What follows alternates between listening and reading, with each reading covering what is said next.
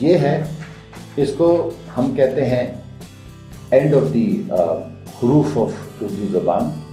और ये है हर्फ ये ये छोटी, ये बड़ी, ये इनका दोनों का इस्तेमाल मुख्तलिफ़ है और होता है ये एंड लफ्ज। और इसका इस्तेमाल इस तरह है, जैसा कि यासमीन, यादगार, यका, हर्फ है ये और इसकी आवाज़ है या।